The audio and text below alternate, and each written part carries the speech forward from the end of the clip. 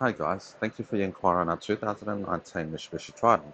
This Triton is powered by a 2.4 litre turbocharged diesel engine with a fuel efficiency of just 8.6 litres per 100 k's. You can see this car comes with seven 18 inch alloy wheels with plenty of tread, sorry 17 inch alloy wheels with plenty of tread on all four tyres. It has also been with a, fitted with a bar with a towing capacity up to 3.1 tonne. Inside the boot, sorry back tray, you can see there's plenty of space car comes in full cloth interior, plenty of backseat space for your passengers, same goes to the front. It is an automatic transmission, you got original head unit Bluetooth connectivity and reverse camera. Car has travelled 90,000 kilometres on the clock.